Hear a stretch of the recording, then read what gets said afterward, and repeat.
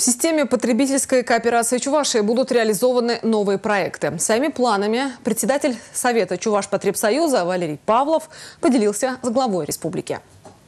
В республике впервые начнут выпускать яблочные соки прямого отжима. Такой продукт в регионе не производили никогда. Для переработки фруктов закупят современную австрийскую технику. Новый цех будет открыт в августе в Комсомольском районе.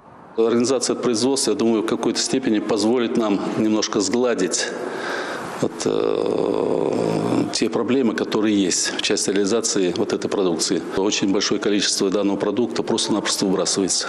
Мы очень озаботились этой проблемой. Поначалу в новом цеху планируют производить более 100 тонн яблочного сока в год. С реализацией напитков проблем не возникнет, уверен глава региона. Спрос на экологически чистые продукты повышается.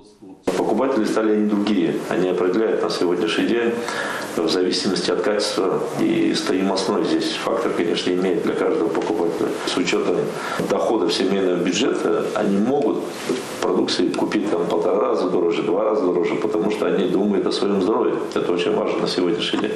В условиях конкуренции с федеральными сетями в Чувашпотребсоюзе продолжат открывать новые торговые точки на селе. Только за последние пять лет в системе потребительской кооперации было построено более 140 новых объектов. Дмитрий Ковалев и Сергей Адушкин. Республика.